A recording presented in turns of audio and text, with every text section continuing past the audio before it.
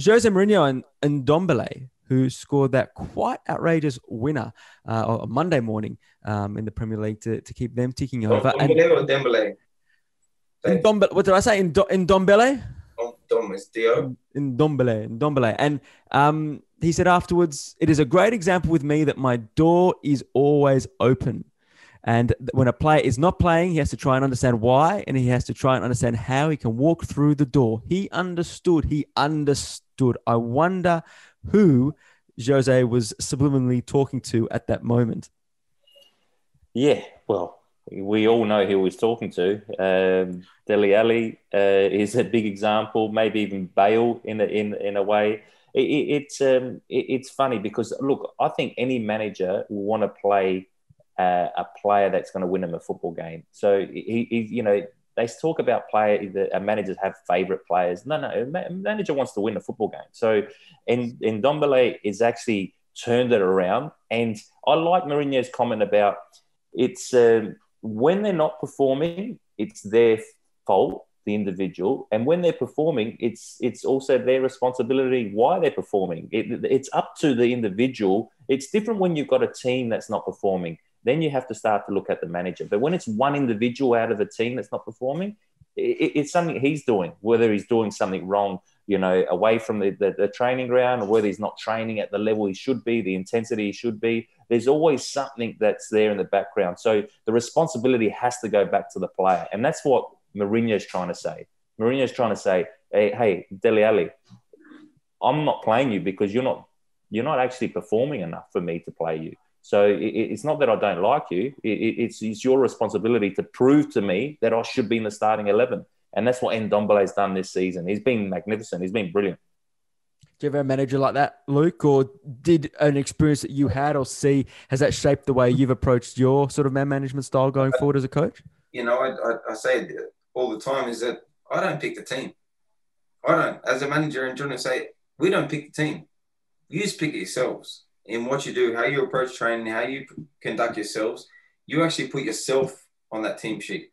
We don't we don't necessarily I reckon in my time, in short time of two years, 99% of the time, they make my decision for me. In what they do, how they conduct themselves, how they perform. They they select the team, not me. And and that, that's how I approach it. That's that's with training, that's with performances in the game. And and I put it onto them. And it is and individuals. And if they're not performing, then they know themselves. We knew ourselves, Johnny, as yeah. players. When you know if there's someone better than you, or someone's performed better than you, and they deserve to be there. As much as you don't like it when you're sitting on the bench, but if you're really honest with yourself, you go, no, he, he's actually deserved to be there. He's, he's playing better than me, or he's done that. And, and that's how it is. And, that, and, and, and it's up to the individual to, to actually fight for that spot. You know, uh, Guus Hiddink, and we both played underneath him, uh, Luke. He he was um, he was a master at mind games. You know, he he was one of those uh, those managers. We didn't always like it, but he was one of those managers that uh, he would know how to wind up certain individuals to get the best out of them. Yep. You know, the, the perfect one was Harry. You know, sitting on the bench against Uruguay um, you know, and then bringing him on and him changing the game. It was like Harry. He knew that Harry would want to prove a point to yeah, prove burn, him. You're burning. That, that, yeah. that's normal. We're, we're, we as players, we want to. Everyone wants to be. Yeah. But and then you're burning, like I say, and you want to prove a point. But I've done it all my career. Yeah. No one ever gave me a chance. The same now as a coach. No one gives you a chance. That's and right. and what drives you is that to prove a point. Yeah. To, to, to show what you can or what you're capable of. And I think that goes in all walks of life, not just in football no, you know, right. and, those, and, and, and those personalities that when, when people doubt them and they go and cower and hide, they're not the ones that are going to succeed. Yeah. The ones that are going to succeed, those are the ones that go, okay, you doubt me, you go, you're going to see. Guus also did it with Timmy, you know, the Japan game. He, he left him out, you know, the morning of the game. I know, I was rooming with Timmy. that time. he was. I didn't expect to play. He was burning bad. I remember, I remember one of the, the times with, with Guus as well. Um, remember, we used to have the, the, starting eleven against the you know the second eleven, yeah. and, the, and yeah. he would he would make some cha- changes during that. Um, make you think, oh, maybe I am, maybe I'm not. Yeah. Oh, what he'd play with? He'd play with your mind mid yeah. mid, well, session, well, mid tactics. Well, yeah, with tactics, and and and sometimes you would know that you would be the first sub coming in or whatever because you'd work on it in training. But I remember once, Luke, I was in the second eleven, and he um, He gave me the like during training. He gave me the bib, put me on the starting eleven, and within one minute, and and I'm I'm lucky if it was even one minute. He changed it back off of me. and I was like, "What did I do that bad? I don't think I touched the ball in that one minute." that was probably the issue. Who, who took your spot? Oh, I can't remember. I was gutted. I was. Well, like, it, wasn't, it wasn't me up top anyway. but it was during the World Cup we did that, and uh, it was maybe even before the Japan game. So it, you know, it, it, worked because I ended up coming in and scoring. and it, keep, it keeps you on edge, right? It keeps yeah, you on yeah, edge, and that, yeah. that's that's the same like going into it now. You go, and because that complacency or people not feeling a part of it, you know, even if it's that one minute with the bib you felt a part of the team, didn't you? yeah, it was it was funny. It was uh, it was something that you know. There's certain things that you forget in your career, but that was something that I don't think I'll ever forget.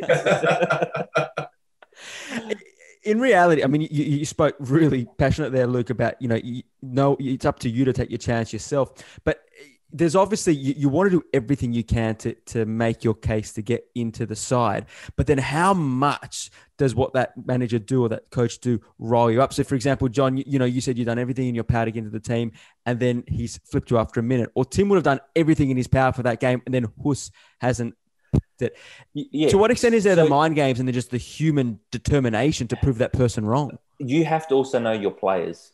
Now, if he did that to, you know, I'm not saying that you know my mind is you know is better than others, but uh, he knew probably how to trigger me in a sense to get the best out of me. Whereas if he did that to someone else, it might have killed their confidence and they would have gone hiding. You know, it, yeah. so you, you need to know uh, how each individual is going to react, and sometimes that comes with a little bit more time the spending with a, with a group of players. He knew that that, that it would uh, trigger Timmy and Harry, or else he wouldn't have done it you know, I, I think that uh, he knew they weren't going to go hiding. He knew that they'll come out firing. Yeah. No, that's right. Whereas whereas Mourinho probably tried doing that with Pogba and he lost him. You know, you know what I mean. So it's a fine line. You need to actually understand each individual because not you can't treat everyone the same. It's impossible to treat a group of players all the same. And and sometimes you're going to win some, and sometimes you're going to lose some with individual players. Uh, because not everyone has got that fighting spirit. Sometimes some players, the way their upbringing is, they need a, a, an arm around mm. them. They need someone to actually support them through a tough period. But it's, it's not about you, you can't treat them the same. You can have boundaries that everyone yes, has the same. Of course, you have those, yeah, those, yeah. those the, the, way it is, but you've got to go, like you say, in depth in that individual because ultimately you, you got to get the best out of them. As, as a manager, that's that's your job. That's your job. Yeah. That's your role to get mm. the best out of these players. And if you're losing those sort of players like Pogba or Bale, you know, uh, Dele Alli, will it work with them? But you know, so so you've got to find the way to get the best out of them because that that for me is you know men management, and that's your role.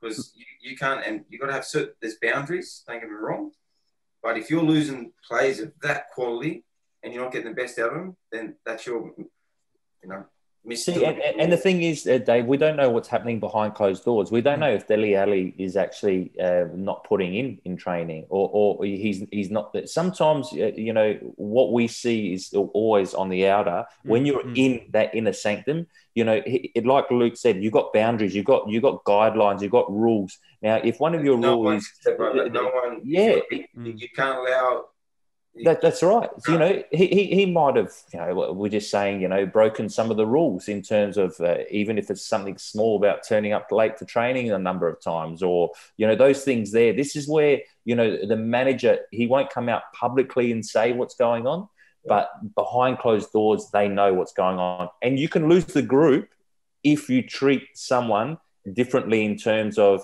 allowing him to get away with that stuff and keep on playing him. So you know, this is where it's important that you know you you actually.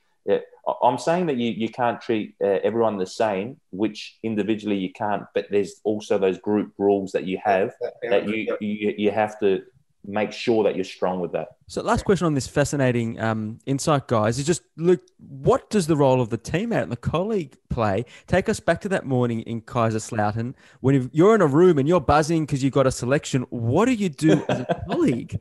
I just said, Timmy, unlucky, mate. I'm playing. no, look at that. That's um, yeah, that's, that's you know, and, and I always emphasise it that it's you know that the, the, the eleven players that go on representing the whole group or the, the whole of Australia or whatever is the club. Um, you know, and through those times, you know, he was devastated. Everyone thought he was going to play. I thought he was going to play. I never thought I was going to play. Um, no one in Australia thought I was going to play. No one knew who I was when I played. they knew after that. Yeah, they knew after. But but that's that was that's how it is. And and I remember it. It was sort of it was strange because he went down. He's come up. He's devastated. And then I had to go down, and I come up and I'm playing. So it was a one-on-one chat, was it? Yeah, and it was like it was a strange one because I like he expected I didn't, and it was like, and I come back to the room. I knew he wasn't playing already, so I was like. Yeah, so, like, so Luke, I, excited I am. I don't know if you remember that. Uh, so he came down. I think it was after breakfast, and um, and then you you probably went back up to the room because uh, and I sat there with Timmy for a little bit, and there was a couple of us. There was there was a few the the, the ones that were on the bench, or, or you know we knew that we weren't starting. Um, so that's why I wasn't there. Yeah, oh, I think that that's why you weren't there because you went back up to the I room. I was to be in the stand, mate. but it, and I remember that um, you know Timmy was was gutted, of course, but he he actually you could sense and see in his eyes that he was when he was going to go on, he was going to prove a point, and um, and and he wasn't going to be one of those ones that would mope around. And uh, and it was funny because it also rubbed off a little bit on me because I was angry because I wanted to start. And yeah. so, you know, I, I, was saying to Timmy, don't worry, when we come on, we're, you know, we're both going to score, we're both going to win us the game and, and, and all that stuff. So, you know, some of that energy actually was good for us because, you know, we were able to... that, that's what's lacking there now. And some of, some of them now, the mentality in the, the, the new generation, to have that, I'm going to, I'm going to show you, you know, and, and that's how it was. That was a mentality back then and and now, like I, I hate it. And like I said, you talk about mistakes. I don't care you make a mistake. That's what you do. And your reaction, how you, you apply yourself. That you doubt me, no worries, doubt me. That, that, that, that's your thing. I'm going to show you. I'm going to show you. And that's just, that's no different there. And that was a mentality, like you talk about that John now. Back then, why we were successful then with the group of players that we had, because we all had that mentality. I had it through my times at Bristol City where I got selected, because people like this coach put me out, and I'm going to show you. I'm going to show you. And everyone had that mentality and, and that, that burn and desire inside them. We've been wonderfully sidetracked, but Luke, in the same vein, um, what was it? Was it that characteristic that you think got you what even you, you admit was a, a bolt from the blue selection that that Hiddink see, had seen in you, and then and then when you've gone up there just to find out the selection and found out you're starting, what happens to you? You talk about you know your Timmy's energy level went down. Yours just what happens then? I think Timmy's Timmy's, Timmy's went up to another level because he was, he was bursting, um, and showed that when he came on. But um, but I was, I was saying I was always bursting. I didn't expect to be in the in the in the national team in the squad for the World Cup. You know, my time that I had at Bristol City at that time, and you'd have to ask Guus why, um, how. I always I was always in, and John know I was always 100. percent I've, I've never not been 100 percent or 120 percent. You know, and and and I always you know I, I believed in hard work. Simple as that it wasn't about quality for me. It was about hard work. Um, you know, I wasn't the most gifted player, but but always I you know I, I put the team first. Always I done what I done, my roles, and he obviously saw something in me that probably you know I was always you know critical of myself. Yeah, I, I think the biggest thing was that um, Guus could trust uh, certain players, and then Luke was definitely one of them.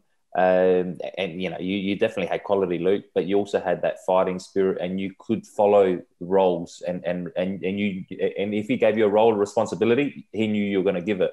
And uh, and Guus was big on testing as well. I don't remember if uh, I don't know if you remember Luke when we did the beep test uh, back in Melbourne before we went over. Yeah. And, and you know, Luke the midfielders were the ones that were getting 15, 16s on the beep test. And then Luke was definitely one of them. We had a few. We had Jason Culina that could run all day, Bresciano that could run all day, Luke that could run all day.